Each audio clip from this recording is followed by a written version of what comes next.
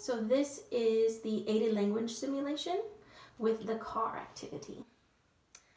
Hi Riley, we're gonna play with cars today. Do you want to play it?